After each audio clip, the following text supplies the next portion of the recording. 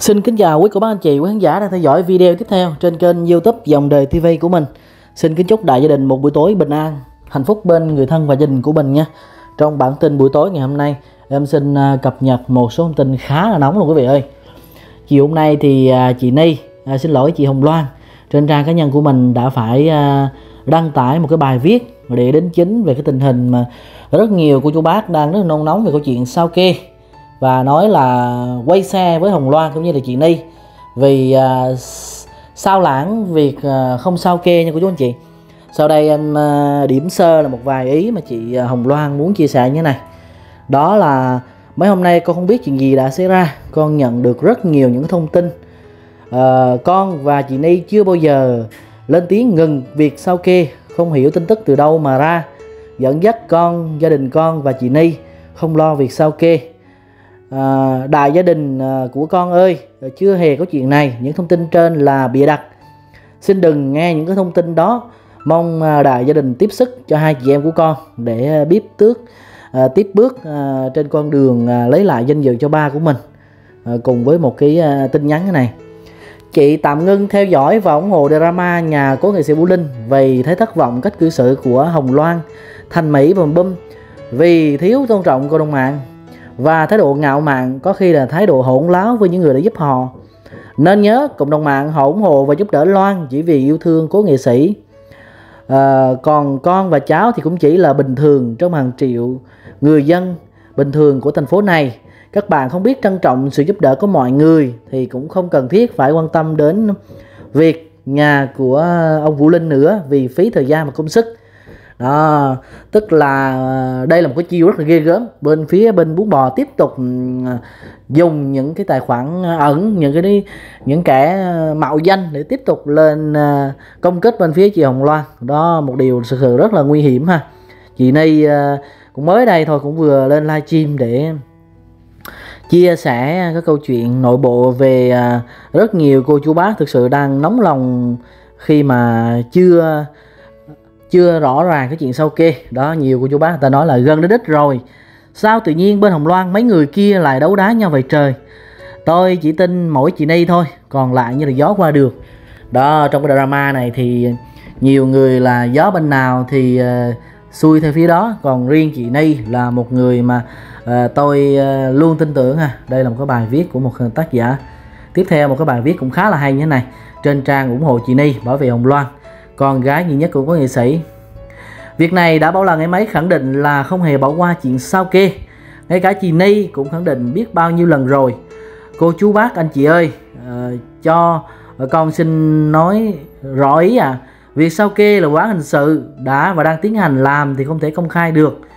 Chuyên án hình sự mà làm đến đâu, công khai đến đó thì có vẻ đường uh, cho tội phạm chạy không à khi chúng ta đến bên cạnh Loan, vì chúng ta ủng hộ cây đúng, ủng hộ lẽ phải, ủng hộ à, làm đúng luân thường đạo lý, đúng pháp luật nhà nước thượng tôn pháp luật.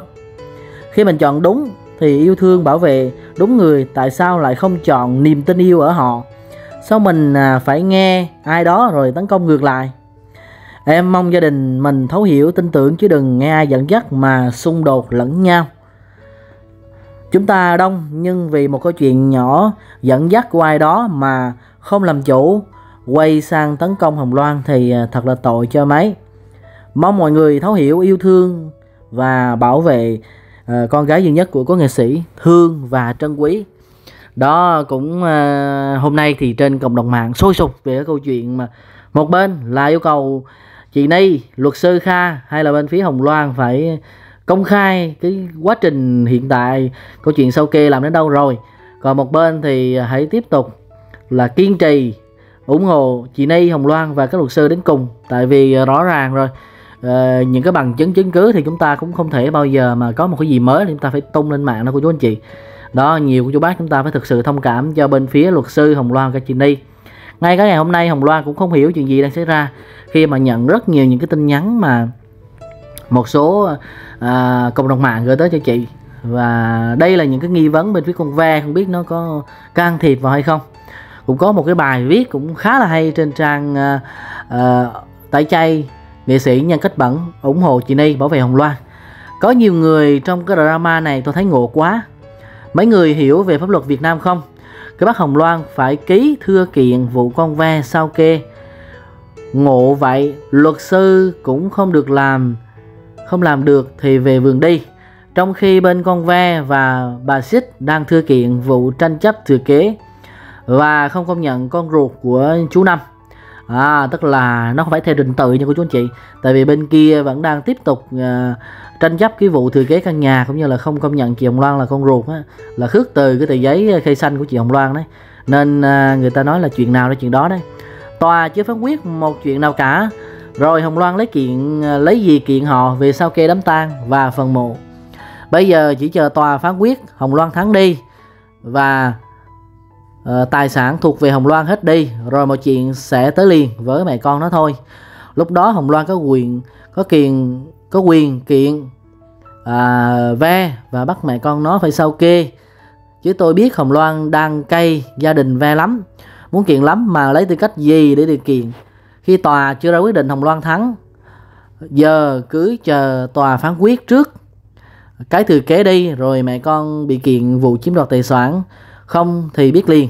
Nên mẹ con và uh, ông bảy khọt xèo đang không sợ là vì Hồng Loan chưa có tư cách kiện. Mà đúng không? Tòa chỉ cần phá Hồng Loan là người thừa kế tài sản của chú Năm thì coi như mẹ con nó rung kể cả ông sạc binh sẽ biến mất tôi tin Hồng Loan tên nghệ sĩ ưu tú Vũ Linh đã mất bảo con gái chú làm vậy nó phải có trình tự nha cô chú bác anh chị. Tại vì câu chuyện bây giờ chị Hồng Loan vẫn chưa bên tòa vẫn chưa có có thông báo chính thức về câu chuyện mà nó đang tranh giành căn nhà số 5 cũng như là tước cái uh, giấy khai xanh cũng như là uh, không công nhận chị Hồng Loan là con gái của chú Năm. Khi mà tòa đã chính thức thông báo thắng vụ kiện này rồi thì cái câu chuyện sau kê nó khá đơn giản. Tại vì lúc đó là chị Hồng Loan là toàn quyền được pháp luật tòa án công nhận là con gái của có nghệ sĩ và có quyền yêu cầu bên phía mẹ con bà xích em ve làm rõ chuyện sau kê đám tang của ba ruột của mình thì lúc đó mới thực sự là có hiệu lực nha. Nên à, cũng rất nhiều của chú bác anh chị ta nôn nóng cũng muốn mong biết là cái kết quả cuối cùng của sao kê như thế nào. Tại vì à, trước à, đám dỗ thì chị Ni Hồng Loan và các luật sư cũng đã uh, có những cái thông báo nhắc nhẹ là hy vọng qua đám dỗ sẽ có thông tin mới về vụ sao kê.